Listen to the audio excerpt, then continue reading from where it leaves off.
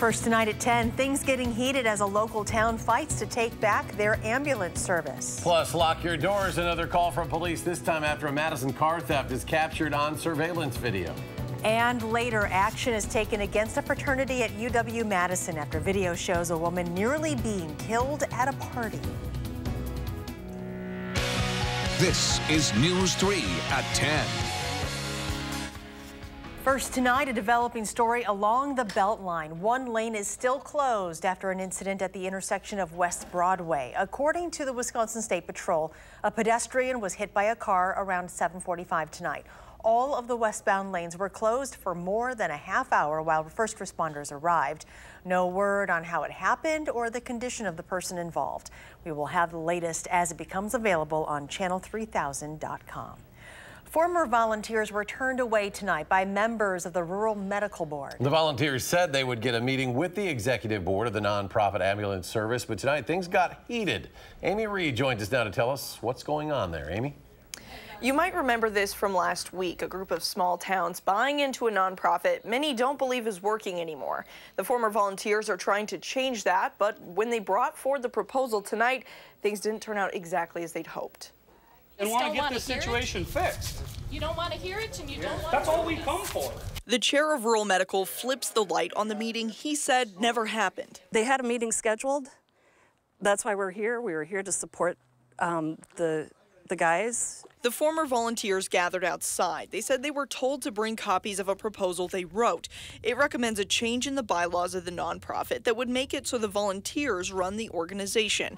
A small group of the Rural Medical Board took the proposal but refused to meet any further, implying too many people showed up, and this meeting was supposed to be off the record. Did we or did we not ask you to bring one or two representatives?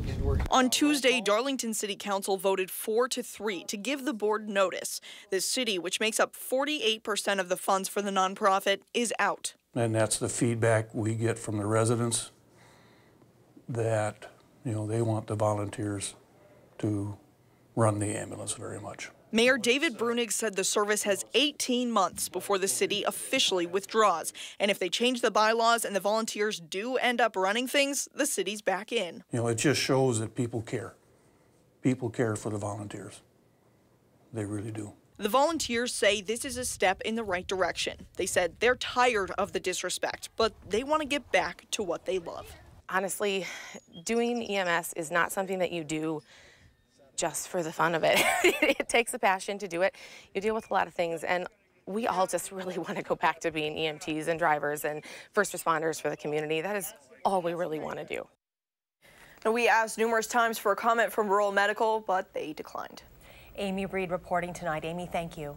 The UW chapter of the Kappa Sigma fraternity house now suspended after a safety related incident over the weekend. Two Instagram videos show a TV being thrown off the roof of the chapter house narrowly missing a woman below. According to a release from the university, the interim suspension prevents the organization from holding any events, reserving space, or enjoying the other privileges that come with being a student organization. The police department says two 20-year-old fraternity members have been issued misdemeanor citations. The UW says the investigation should last the rest of the summer. A former state trooper, Frank Torres from Cambridge, will spend the next three years in prison. He was charged with 10 counts of possession of child pornography in February of last year.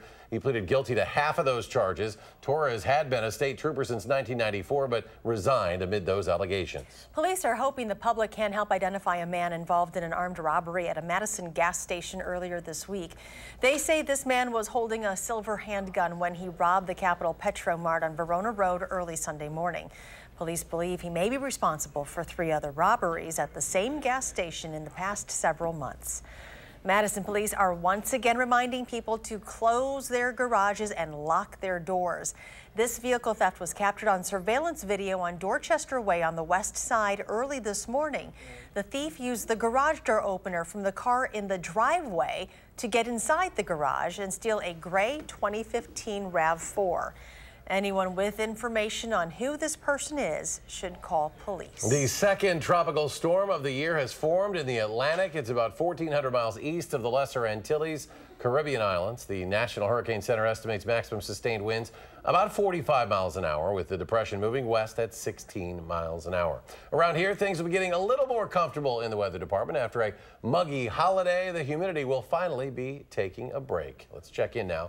Meteorologist Dave Caulfield, he's in the Weather Center, Dave. Yeah, it's probably pretty humid in Tropical Storm Beryl right now, but not for us. Finally, we get a break from that humidity. Temperatures have fallen into the low 70s, even some 60s showing up closer to Viroqua and Boscobel across southern Wisconsin this evening.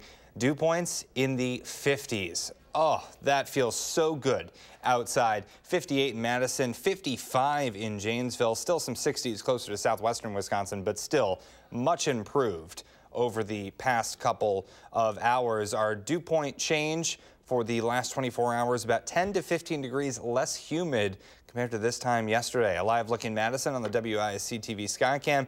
Currently at 72 degrees, a north-northwest wind at 5 miles per hour. Your day planner for tomorrow starting off near 60 degrees, plenty of sunshine. Highs will make it into the low 80s. We'll talk about how long this nice weather will stick around in your first alert forecast in just a few minutes. Thank you, Dave.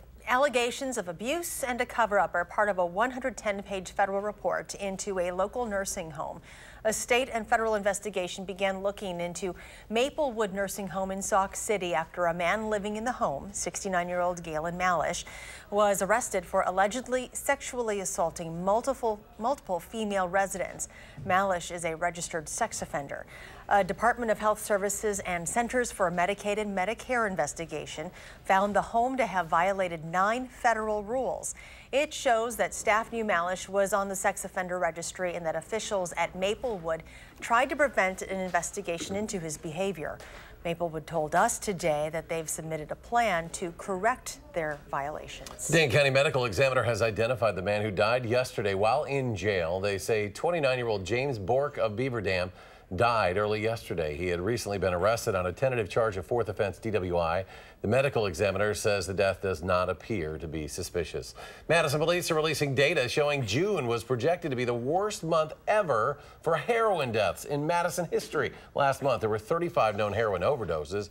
At least 11 ended in death. Officers tell us they're seeing an increase of heroin laced with fentanyl, and that could be partially to blame for that rise. On average, police and fire are administering Narcan once a day just in Madison alone. This addiction is so powerful that they need to use immediately.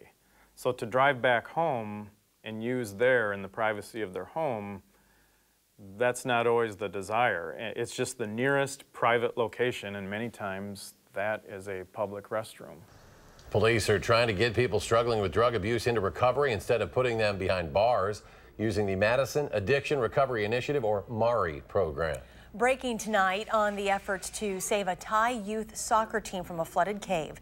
There are reports from the Associated Press that a member of the rescue effort has died from lack of oxygen. The 12 children and one coach have been stuck in the cave for two weeks.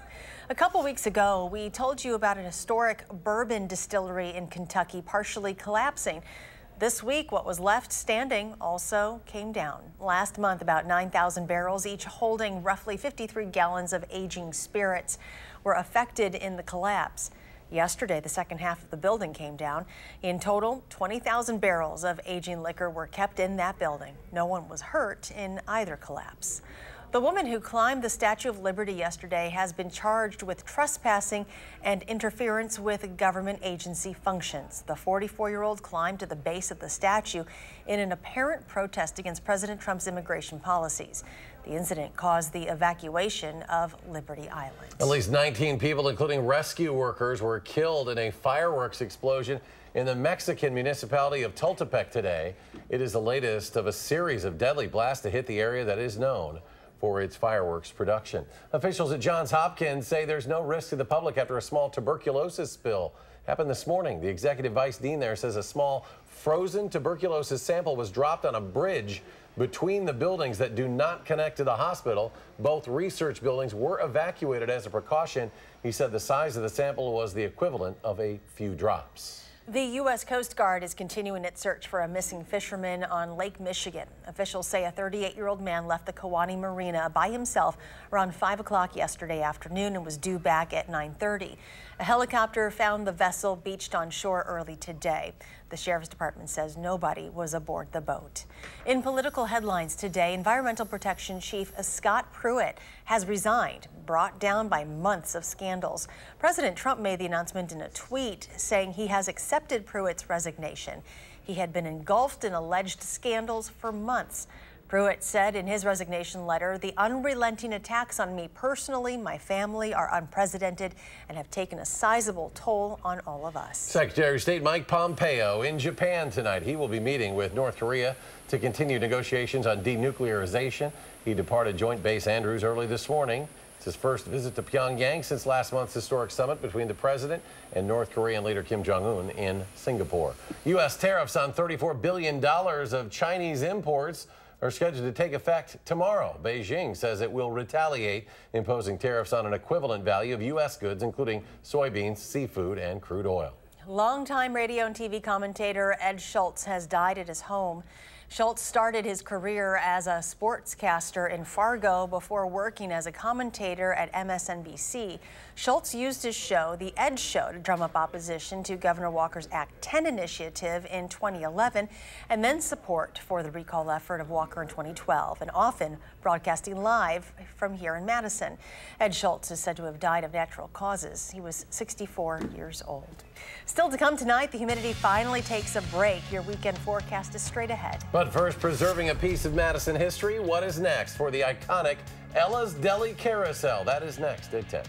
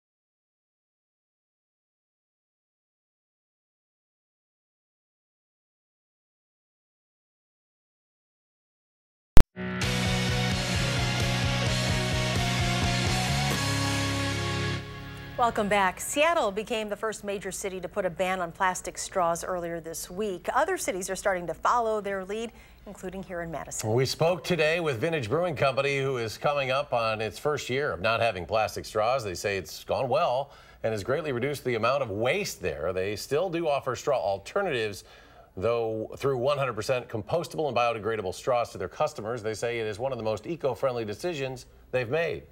The, the dollar was worth it for us um, to A, let the community know that we're just trying to do our part and um, litter as, as least as possible. He also added that in an industry where there is a lot of waste at the end of each day, getting rid of plastic in any way they can is a step in the right direction. Starting Monday, the American Red Cross will institute a blood emergency. That means that more blood is being used than is being donated, which can have consequences, including doctors being forced to delay surgeries. Officials say that they are about 15,000 donations behind. The annual Farm Technology Days is about to start this year up in Wood County. The three-day event starting next Tuesday, July 10th, features some of the most advanced and modern tech in the agricultural industry. Organizers of this year's event in Marshfield say the show will cost about $2 million to put on. Epic has purchased the carousel and the decoration collection for Madison's historic Ella's Deli. That deli, which was a staple on the east side for decades, closed back in January. An Epic administrator says helping preserve a part of the Madison landmark was an easy decision. The company believes it will take, though, until later this month to move all of those items. A new brew house open for business at East Towne Mall. It opened this evening. The company says it features its own microbrewery and movie theater. According to a release, Flix is the first theater in the world to incorporate a fully functioning microbrewery, and Madison is the company's sixth location, the first in the state of Wisconsin. The theater takes up more than 39,000 square feet of East Towne Mall. Here's an unusual story out of Green Bay. A pet parrot was rescued thanks to the police and fire departments. Yesterday afternoon, the bird escaped from a home on Oneida Street and flew to the top of a tree. The fire department brought in their ladder truck and allowed the bird's owner to go up with one of the firefighters. Fortunately, the owner was able to pull his parrot into his arms and bring him back down safely. Felt good to know that they were willing to help somebody need, and I told them a thousand times I can't express how much I want to thank them for this. The bird, named Cece, was rescued just in time. A storm broke out just a few minutes after he was brought down from the tree. I bet he had a lot to say about that. Let's go to Dave Caulfield with a look at a forecast that brings some comfort our way, Dave. Finally, an inside source actually with that story tells me the bird was trying to escape the humidity, and that's a tropical bird, keep in mind. So that's just a sense of how bad. That says something. I know, right? that, that, there's your sign, as a famous comedian would say. However, we are looking at much nicer conditions tonight and into the weekend. We can thank a cold front that went through earlier on this Thursday, and also high pressure that is generally. Uh, what's the word I'm looking for? Building, there we go. Um, we'll, we'll get it together, folks.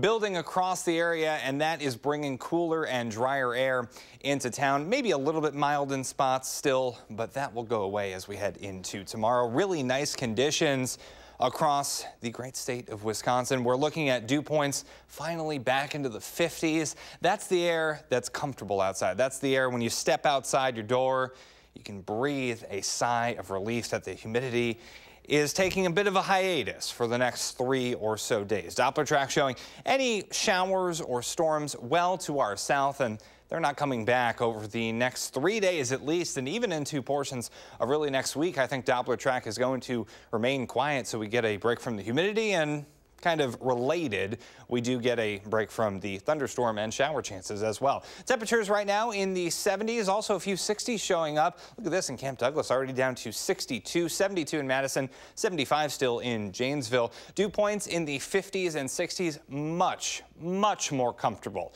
across the area. 58 in Madison, that feels great outside right now. 64, a little bit more humid as we head into southwestern Wisconsin but I think that will even get better over the next few hours. Look at this 24-hour dew point change, about 10 to 15 degrees less humid across the area compared to this time on Wednesday. Hopefully that humidity stays away for quite some time. Downtown Madison on the Edgewater Skycam looking at mostly clear skies. Really save a few clouds here and there over the next few days.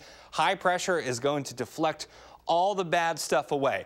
Tell the high pressure system what you want to deflect and hopefully it can get it out of here. If you maybe got a bad grade on a test when you were way younger, tell the high pressure system, hopefully it will help you out. 88, the high today. about 5 degrees above normal. High temperature trend over the next week or so looking warmer and more humid as we head into next week. 8 to 14 day temperature outlook as we head into the middle of this month. Pretty typical July weather looks to visit us across much of the U.S., including Wisconsin. So a little bit warmer, maybe a little bit drier than what we have experienced. Tonight, becoming mostly clear, cooler and less humid with temperatures in the 50s tomorrow. Highs will make it into the low 80s, less humid again as we head into tomorrow. So really not looking at too much. Pretty quiet on future track over the next couple of days. Highs should make it right to about 80 degrees as we head into Friday and Saturday. Sunday, a couple more clouds may come our way. And then also maybe temperatures a little bit warmer as we head into Sunday. And then that warm and humid weather does come back as we head into Monday. Heat index values will be in the mid to upper 90s as we head into next week once again. So enjoy the next couple of days while we can. That break from the humidity does not last forever, unfortunately. Looking forward to breathing once again. Yes. Thank you, Dave. Thanks, Dave. Brewers try to keep it rolling against another first place team, the Braves, visiting Miller Park tonight. The highlights coming your way next in sports.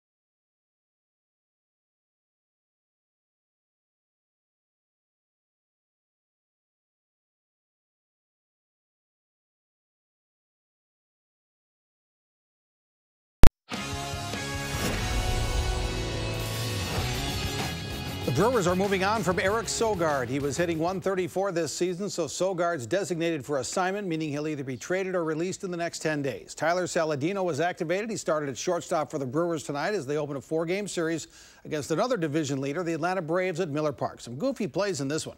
The Brewers' Jhoulys Chacin watches ball four go by, and boy, look at all the way to the backstop, comes back toward the plate, but no matter, Saladino scores, and the Brewers have a 4-2 lead. And Chacin has another quality start on the mound for Milwaukee. Seven innings, three hits, one walk, seven strikeouts. He's now 7 and three this season. Hernan Perez adds an eighth-inning homer. Final score, Brewers 7, Braves 2. Brewers now a game and a half up on the idle Cubs atop the NL Central.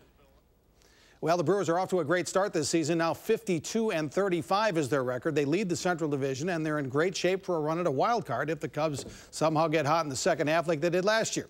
You'd think the Brewers would certainly be buyers as the trading deadline approaches July 31st. David Stearns isn't saying anything for sure, and he says anything is possible. Clearly, when you're in the position that we're in right now, the goal is to improve the team if you can. Um, that can take a variety of different forms. It can mean um, some minor acquisitions. It can mean uh, a more robust acquisition. It could also mean um, improving the team from within. So we have to we have to be open to exploring all those options. That's what we're doing right now, and it's a fun time of year for us. The Madison Mallards lose at home tonight, 10 to 2 to Battle Creek at Warner Park. The Mallards are 0 and 2 to start the second half of the Northwoods League season. They're at Kenosha tomorrow night. If you've been missing the World Cup, it returns tomorrow at the start of the quarterfinals. It starts at 9 o'clock Central with Uruguay and France. Then the afternoon game is Brazil and Belgium at 1. The other quarterfinals are Saturday, Sweden, England in the morning, and Russia, Croatia in the afternoon on Saturday at the World Cup, the World Cup final, Sunday, July 15th in Moscow. The LPGA is having an event at northeastern Wisconsin this week, the Thornberry Creek Classic in Oneida, Wisconsin. That's just outside of Green Bay. Australian Katherine Kirk won last year's event. She's off to a great start in this year's event. Kirk plays early, shoots 10 under 62, which ties the course record, and is her best round as a professional. She shot 7 under 29 in the back nine. It's just a one-shot lead, though, for Kirk as Sei Young Kim shot 63. Brittany Marchand and Megan Kang shot 64 in the first round of the Thornberry Creek LPGA Classic outside of Green Bay. There was controversy at the hot dog eating championship yesterday. Joey Chestnut's original count was 64, but it was discovered two cleared plates of hot dogs were missed. Thus, the final total was 74 hot dogs eaten. And today, the president of Major League Eating says electronic counting technology may be added to assure an accurate real-time count of hot dogs eaten. Rich Shea is the president of MLE, that's Major League Eating. He says he doubts we can put a microchip on the tongue or in the esophagus Perhaps some sort of monitoring with the plate weight would be more practical. Discuss among yourselves. We'll be right back.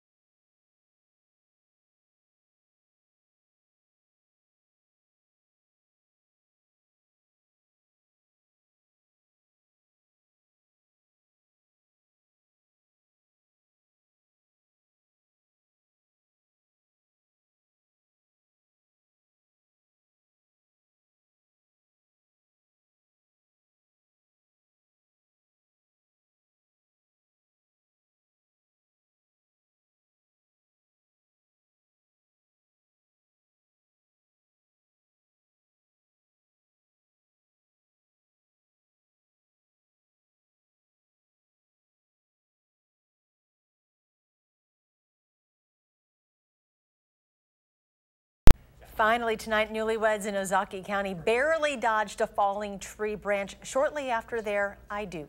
Cheyenne and Lucas were getting ready to be interviewed for their wedding video. Look at that. Isn't that something? A massive tree branch came crashing down. They got out of the way with just a split Oh second to spare. According to the photographer, the bride said after the incident, quote, our love is going to be stronger than that tree. Oh, God, so unreal. so.